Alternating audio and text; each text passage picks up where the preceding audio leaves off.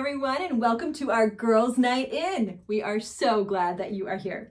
My name is Lisa Tony, and I'm going to be your host for the evening, where we are all about bringing you some different things to keep you occupied while you're in quarantine. You're going to hear from a number of different women tonight, and they are bringing you their best ideas and tips for how to be organized, how to cook, different activities you can be doing, different things you can be listening to. So grab a cup of coffee or something warm and snuggly and cuddle up because this is time just for you. We want to encourage you, we want to point you to Jesus, and we want to have you hmm, maybe laugh a little bit along the way as well. So thanks so much for joining us, and here we go. First up is Angelis Chevalier. So Angelis, tell us what you got for us. Hello, everybody. My name is Angelis Chevalier. I live in Claremont with my husband Jason, with my two boys, uh, 12 and 10 years old, and my dog Francisco, and my bird, and I think that's it.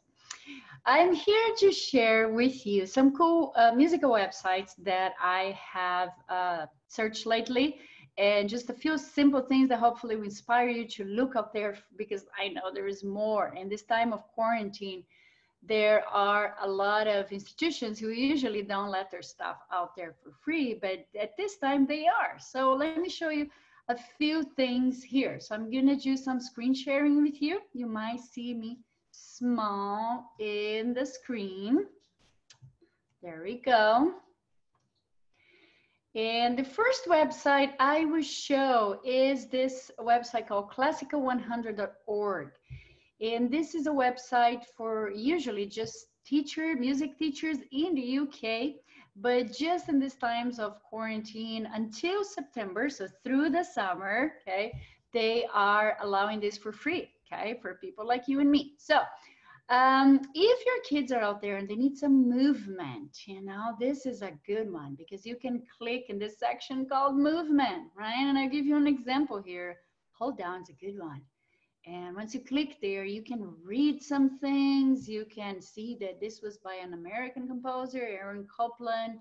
Uh, and there are several familiar American folk melodies, some cowboy songs that are uh, quoted in this music. But here's an example.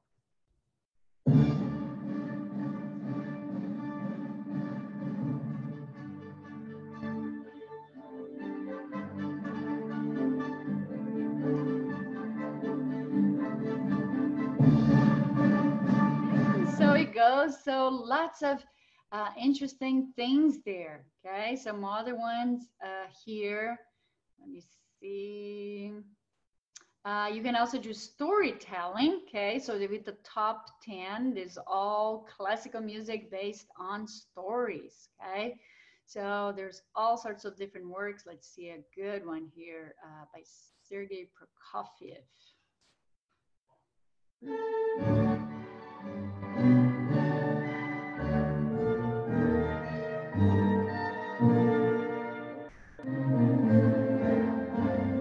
Tells you the stories here. You can read to them, you can learn with them. Of course, one of the most famous uh, talking about storytelling is uh, Peter and the Wolf uh, by also a Russian composer, Sergei Prokofiev. And this is the Peter's theme.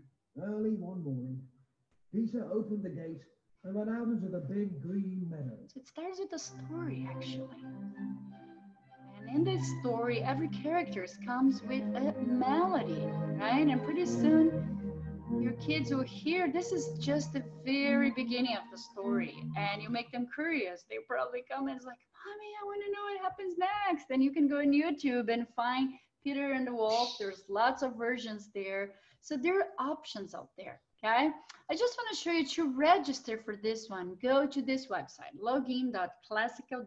Uh, you see it there, right? Login.classical100.org. And usually I know you can figure out stuff, but for this particular one, I had to uh, uh, research. And so I'll tell you, uh, once you put your first name and last name, you have to select your virtual school uh, ABRSM. Okay, so once you start typing virtual, this name would appear. You select there, and then you can join this for free. Okay, I can, if this will be on Facebook Live, I can give you the websites again if anyone is interested out there. All right. And uh, another one I want to show you is LA Opera. LA Opera is our famous opera company here in Los Angeles. Usually it's very expensive to go see an opera there, but these days they're giving some more uh, resources here for us. If you go to their website, uh, laopera.org, uh, and then type Opera Family Time, you see that there's a few things that you can watch with your kids there. There's the Prospector, which is uh, a story back in the time of California Gold Rush. I watched this with my kids, 36 minutes. They were entertained. Uh, it's a, actually a mixture of opera slash musical.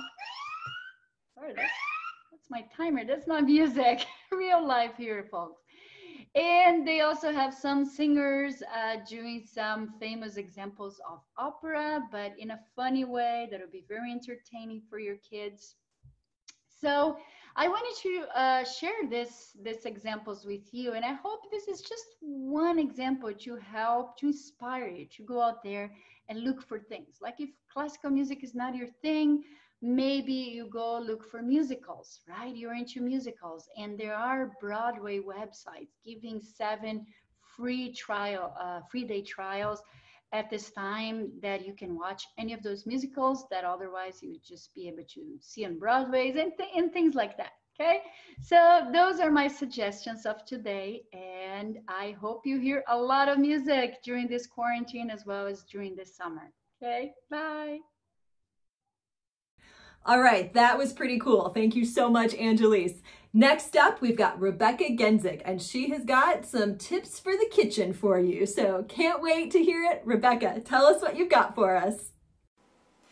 Hi everyone, I'm Rebecca Genzink and I'm so excited to join you tonight for our Girls Night In. I've been a member at Purpose Church for 17 years now. I can't believe how fast the time has flown. It really does feel like home. I met my husband there and we live in San Dimas with our two girls who are 12 and almost 9. Oh my goodness, I just cannot believe how fast the time has flown. Well, tonight I want to share with you a favorite recipe of mine. It's for hot fudge pudding cake. You know, when we first started this whole quarantine time, everybody was talking about baking. We're together, let's bake, let's feast. Well, the Bible talks a lot about feasting and gathering, so while we're gathered as our family, we might as well be really, really obedient, right? Well, like I was saying, everyone wanted to bake, but all I could think of was the eggs.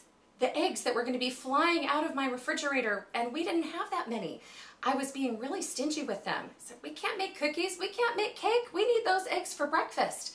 And then I remembered, hot fudge pudding cake. It's made with stuff that's all in my pantry, and it doesn't require any eggs, not at all. So let me show you how it's made. I've got everything all measured out here, and I'm posting the recipe, so I'm not going to give you all the amounts and all that right now. It starts with flour. Start with my dry ingredients here mix those together. Then there's some sugar. My recipe calls for about a quarter cup. I usually use a little bit more because the kids like it sweet. A little baking powder and then some cocoa powder. The recipe calls for three tablespoons of cocoa powder. It's divided. You use a little bit here in the base and then you use some in the topping later. I'm going to add my oil and then a quarter cup of milk. I told you I wasn't going to give amounts, but I am giving you a few. And then just a little bit of vanilla. Now, I'm using imitation vanilla extract, and I'm going to let you in on a little secret. When you're baking, the stuff that makes pure vanilla extract so, so amazing, it kind of bakes out. So if you're going to use your real vanilla, which is a fortune right now, go ahead and use it um, in things that are going to be eaten cold or raw. So you're going to stir this up all the way. Let me show you. It's pretty thick. It's going to be your cake batter. I'm to scrape all of this stuff out because we don't want any of that goodness to go to waste. Now, after you get all of this mixed together, you have a little topping. And I think that it's the topping that goes together to make the hot fudge sauce that bakes up in the bottom, but I can't be sure. I haven't really looked at it to see like scientifically what makes it all happen, but what I can tell you is that it is magic.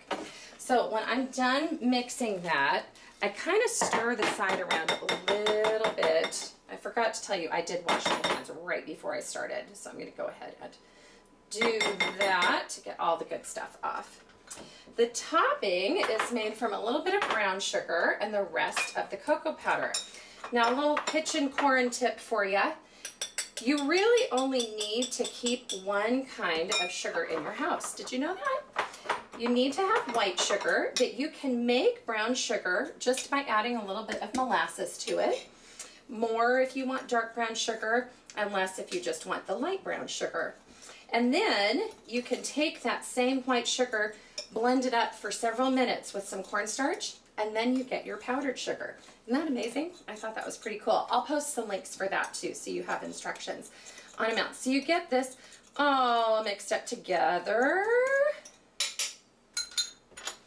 And then just kind of spoon it over. You shake it. There's no real special method. Just kind of trying to get it all in here evenly. All right, now I'm going to take you over to my stove. I've got some water that was boiling here. Let me make sure it's still nice and hot. It is. And I'm going to add three quarters of a cup of boiling water. I'm going to pour that out. And again, there's no real like method to the madness. Just pour it over the whole thing. You do not mix it. You just pour it and that is all. So I'm gonna put this in my oven and it is going to bake for 30 minutes. So I will see you back here in 30 when I dish up dessert for my family. All right, you guys, 30 minutes went by in a hurry and I'm ready to take it out of the oven. This is our dessert tonight, so I hope it turned out good. Oh, it did. You can see there's like all this pudding stuff around it. I told you, magic. I'm gonna serve up just a little bit so you can see. Now, we really like it with ice cream, just a little bit, but we don't have any of that because quarantine. We ran out a couple of weeks ago. But I like mine, and so does Erin, with a little bit of caramel sauce. Oh, you gotta get some of that yummy fudge. Hannah likes hers with powdered sugar, and Leah likes hers with both.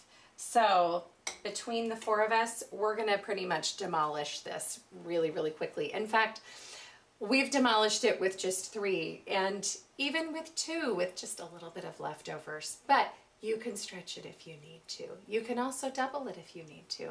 All right, you guys, enjoy. Have some chocolate on me. All right, well that looks and sounds pretty yummy. Can't wait to give that one a try.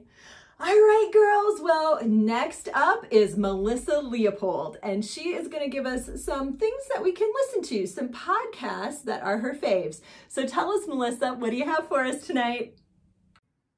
Hi, Women of Purpose. My name is Melissa Leopold, and my family and I have been attending Purpose Church for a little over 14 years, both the Pomona and the Claremont campus, and we love them both. I've been a teacher in Baldwin Park for 35 years, trying to figure out this distance learning thing. So this is my little office here. Um, it's it's kind of fun and exciting, a new, brand new challenging time. But I wanted to share with you three podcasts that I'm especially loving, especially during this time uh, of quarantine. So the first podcast that I love is called Your Enneagram Coach, and you can follow her on Instagram. But she and her husband, Beth and Jeff McCord, have started this podcast, Your Enneagram Coach, and it is based on using the Enneagram to create a thriving gospel centered life, to create a thriving gospel centered marriage, just to be thriving and gospel centered. And they have two podcasts so far. They're only two podcasts in, so you haven't missed too much. The first podcast is about the Enneagram typing system. And you may remember when Pomona campus did a series on the Enneagram late last year, super impactful in my life. And we in my family have used the Enneagram to have great conversations about how to interact with each other. And the second podcast uh, on the Your Enneagram Coach podcast is about how each type is navigating this pandemic. So I would highly recommend that podcast, let me just read to you the mission from this couple. Um, if that intrigues you at all. It says that their mission is for people to see themselves with astonishing clarity so they can break free from self condemnation, fear, and shame by knowing and experiencing the unconditional love, forgiveness, and freedom in Christ. And I love that. This is an amazing book, Becoming Us, using the Enneagram to create a thriving gospel centered marriage. I'm a six. Any sixes out there? Woot woot. But uh, type in your um, Enneagram number in the comments or chat if you can. I'd love to see who else is out there. But Your Enneagram Coach is an amazing podcast. I highly recommend it. Another podcast that I'm loving right now is called Behind the Scenes Podcast, and it is by Jeremy and Audrey Roloff. This is them here. They're from the TLC show Little People Big World, which I've watched for 15 years and I love.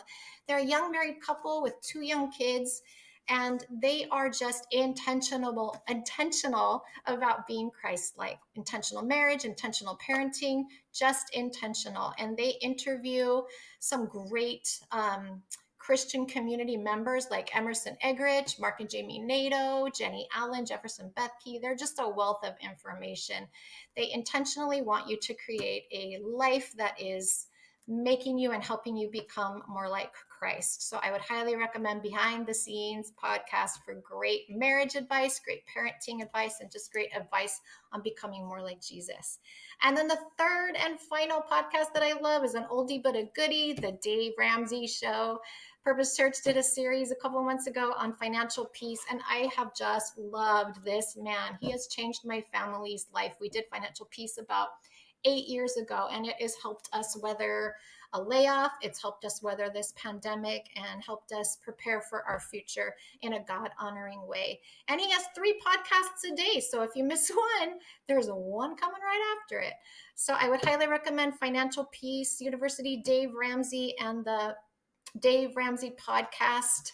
It is just God and grandma's way of dealing with money. And if you don't get the podcast, at least get the Total Money Makeover because it has all the information in it. But I promise you cannot watch the Dave Ramsey or listen to the Dave Ramsey podcast without getting a lump in your throat for how God changes lives um, both through finances and through everything else that he does. So, those are just three podcasts that I'm loving right now Your Enneagram Coach, Behind the Scenes podcast, and The Dave Ramsey Show. And I hope that you might find any of those impactful in your life as well. Take care and thanks, guys. Bye bye. All right, that was so good. I can't wait to give those a listen. How about you guys? All right, well, next up we've got Debbi Lowther, and Debbi has put together some tips and tricks for keeping your kids organized in school season. So this is a perfect time for us to be gathering all that information and getting ourselves prepped. So give it up for Debbi Lowther. Hi everybody, um, my name is Debbi Lowther and I've been part of the Purpose Church family for about three years. Uh, I work in the um, in the office. I'm the off the Purpose Kids office manager, um, and it is my favorite job I have ever had. So um, even if I don't know you, I most likely know your children. Um, I've been married to Brian for 19 years this summer, and I have a son named Bailey who's 17, and he is way taller than me. And I have a daughter who is Reese, and she is 12, and she's going on 20. So, anyway, I have some tips and tricks for um, being organized during quarantine, and I wanted to share them with you. Um, the first one is actually just three resources I have, and then the three I have three like tips and tricks, that things that I've tried to be organized, so that work. Okay, um, the first one is called FlyLady.net, and she has a book called um, called Sink Reflections. Um, you don't need to buy the book; she actually has everything online at FlyLady.net. Um, if you haven't heard of Fly Lady, you are missing out. She is awesome. She has um, if you're overwhelmed or disorganized or living in chaos like she she has systems that work. Like she's hardcore. She's she's awesome. I love i heard about her when i was um, a young mom and i was i was overwhelmed and i had no idea what to do or where to start. And she is just like baby steps and systems. Um, she's all about routines and blessing your family and it is awesome. So flylady.net is the first one um, clutterbug.me is the next one. Um, it's also a website and um, that's free. And um, she has a um, quiz there called What Kind of Bug Are You?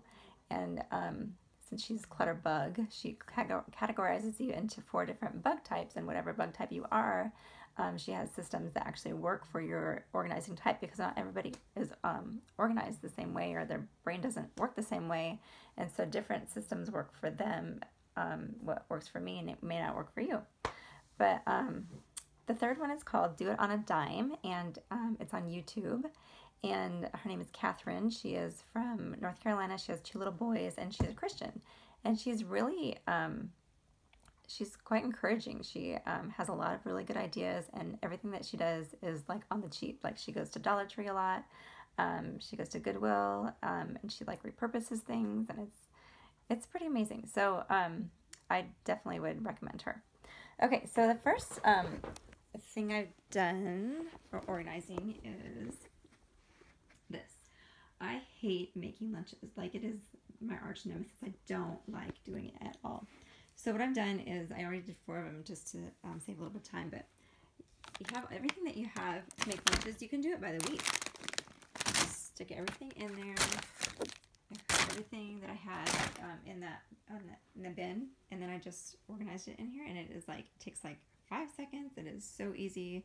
Um, then you just dump it in their bag the next morning, and they're good to go. They need is like a sandwich or um, leftovers or something, and you can make five sandwiches and pop them in the freezer, and then just um, or buy like Uncrustables or whatever. And just stick them in there. It's super easy. My kids like the same thing every day, so this might not work. If your kids don't like the same thing every day, I guess you could um, substitute the fruit or chips or something. But anyway, um, that has worked for me. The second thing is called a homework board, and it has every single thing that they will need for homework, and it helps them not to get distracted. Um, you can put it at the dining room table. Um, you can put it on the um, on the floor. It doesn't really matter where you put it, um, as long as your kid is right in front of it doing their work. They can put their work that they've done already turned in. You can think of work, their work to do on these little clips. Um, there's everything. There's paper. There, I mean, there's um, pens. There's markers. There's ruler, scissors, tape, stapler, glue, like whatever. It's all right there. So, um, and it was like super cheap to make. It's all Dollar Tree supplies. So, the last one I have to do, I'll show you, is um, our family command center. And um, there's Bailey's room, there's Reese's room, it's right in the middle. This is um, if um, if the homework board doesn't work so well, um, this is like everything. There's um, school papers they can put in there. These are just wall pockets that I organized. And then these are actually cookie sheets that I repurposed because they didn't fit in our in our oven anymore. So um, those they're magnetized, so that's cool.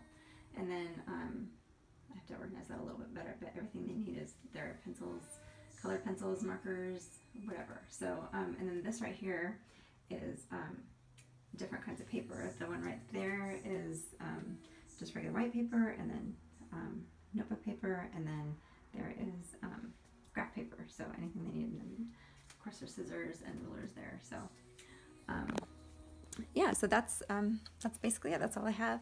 Um, let me know in the comments if there is any special um, tips or tricks that you have um, to organize.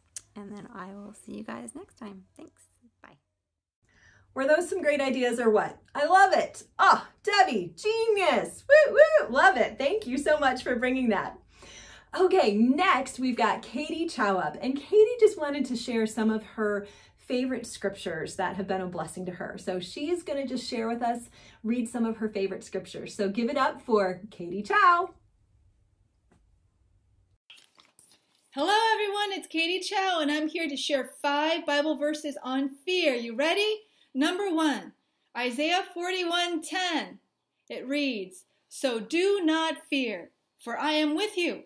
Do not be dismayed, for I am your God. I will strengthen you and help you. I will uphold you with my righteous right hand. Thank you, Lord. Number two, Psalms 56 3 reads, When I am afraid, I will put my trust in you. Number three, Philippians 4 6 and 7.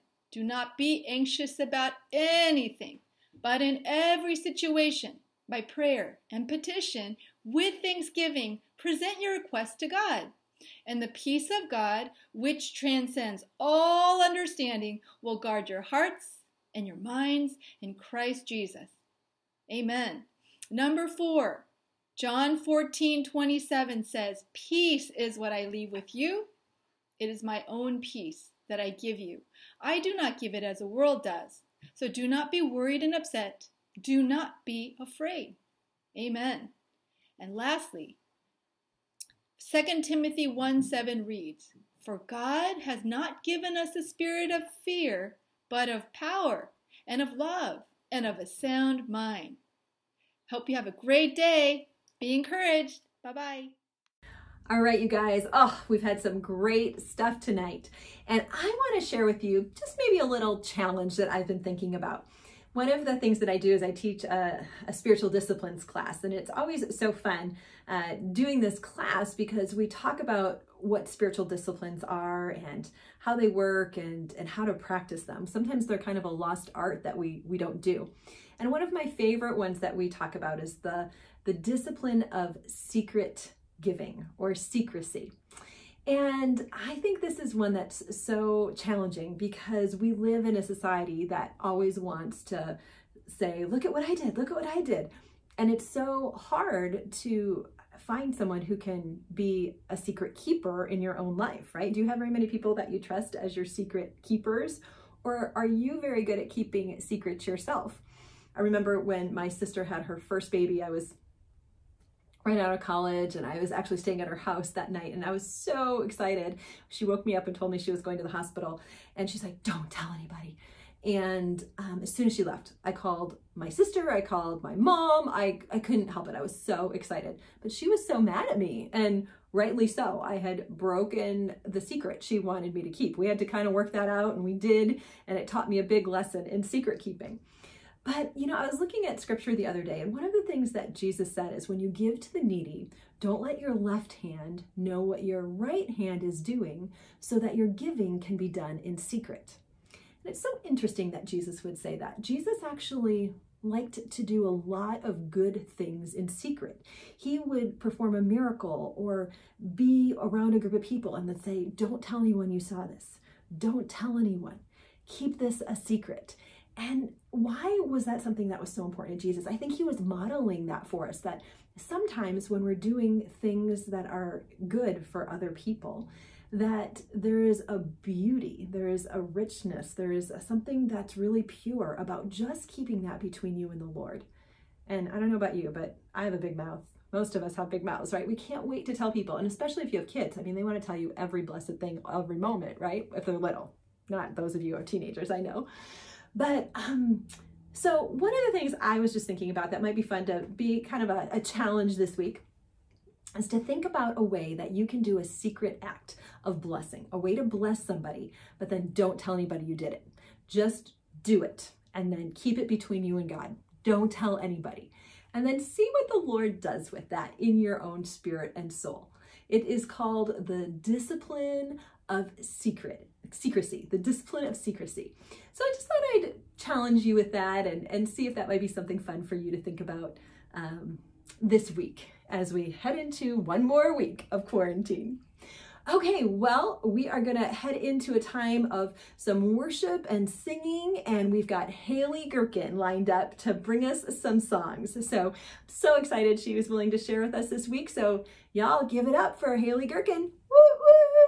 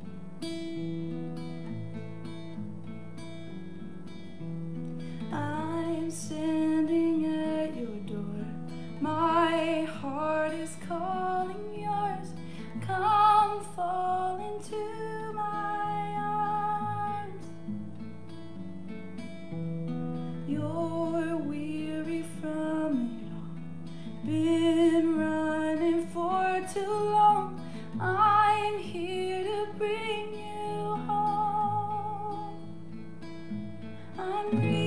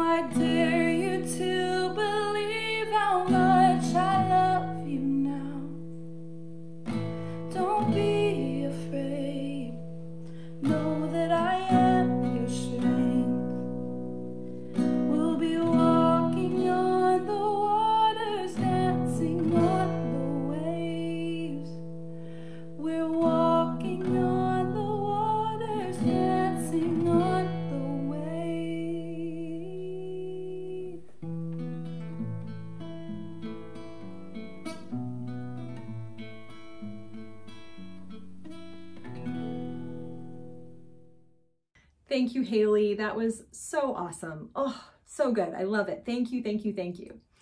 All right, well, as we get ready to close up, I've got one more guest for us tonight. And uh, if you have ever been to one of our Women of Purpose retreats, then you will know her and love her. It is Melisa Barry. Um, she is a dear friend to Women of Purpose, and she has recently moved up to Oregon, so she's not local anymore, but she was willing to send us in a video. And I just asked Melissa if she would pray over us as we get ready to close the evening. And she was so happy to do so. So, um, ladies, let's pray. Melissa, thank you. Good evening, Women of Purpose. I'm so excited to be here with you right now to pray not only for you, but with you. Wherever you're at right now, can you create a little bit of space and let's engage in embodied prayer? That might mean putting our hands together, putting our hands up, getting on your knees, getting on your face, but let's get our whole bodies ready to engage in prayer and let's do some prayer business. Are you ready? Let's seek God actively with all of who we are. So if, if everything is noisy around you, I don't know about you, but I've got two three year olds running through the house. And sometimes I literally go in my walk in closet and shut the door. So wherever you got to go to go, just do go in the bathroom, shut the door. Wherever you got to go to be silent and still. And maybe you're like, my whole house is still and silent. But you know what? Sometimes our minds are rattling, right? So let's just take a moment, whatever you got to do right now to find a quiet space, even just within your soul. Let's find that space and let's go to God in prayer. Are you ready? Okay, so let's deep, let's breathe in. Let's breathe out. Let's breathe in one more time. Let's let go of that anxiety. You ready to go to God? All right, I'm ready. All right, let's go to God in prayer.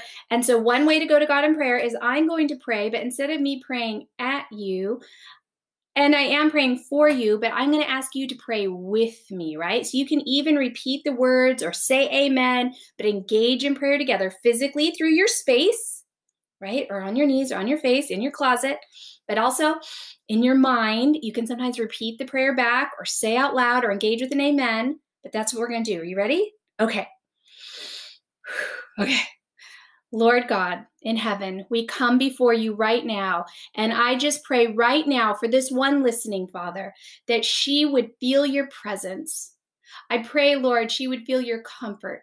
I pray, Lord, your peace, your supernatural peace would fall upon her from the top of her head, Father, all the way down her eyes and her nose and her neck and her shoulders, Father, her arms, her back, her spine, her hips, her legs, her knees Father, her ankles, her feet, through to her toes, Father, I pray your peace and your healing and your presence and your comfort. Father God, I just pray that you presence would be so strong with this woman right now that she would know that you are with her. I pray for this one right now that she would know that in the silence that you are there, that in the chaos that you are there. I pray, Father, that your presence would be so strong that she would know that she is not alone. Father, I pray for this run that you would put your Holy Spirit in her in such a powerful way. Father, that you would give her the courage. Father, fill her with the faith to come to you with her fears and her doubts. And Lord, I pray that this one right now would have the courage to come to you with her tears I pray, Father, that you would release the tears. I pray right now you'd release the fear, that you would release the anger, Father, that you would give us the courage to come to you as daughters who trust that no matter what we say, no matter how we rage, no matter how we cry, that you love us and you care for us and you can take it, Lord. Let this one release her fear and her anxiety and her anger and her frustration. Lord, let her just release it before you and comfort us, Father. Comfort us in our crying. Comfort us in our anxiety. Comfort us in our tears, Lord. I pray for the supernatural peace of God that passes all understanding to come over this one, Lord, as she releases her bitterness, she releases her uncertainty, she releases her fears, Lord. And I just pray, even right now, for peace. Peace like a river to flow over this one. If you want to receive that peace, just say amen. Pray for peace over this one, Lord.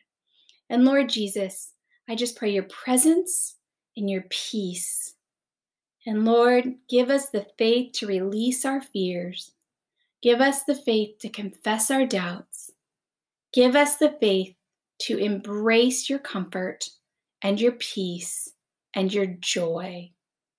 Oh Lord, set our feet to dancing as we worship with you. Take away our fears of what other people will think. Take away our fears of what we will think of ourselves, Lord, and set us free to fully worship you. And as we do, may your presence fall strongly upon us. Help us to worship you now. Help us to worship you each day. Help us to receive your joy. I pray your blessing over this one listening right now, Father. Your breath, your blessing of peace, your blessing of joy, and the blessing of your presence. In Jesus' name we pray. And all God's people said, Amen. Thanks for praying with me, friends. It's good to see you again. Bye bye.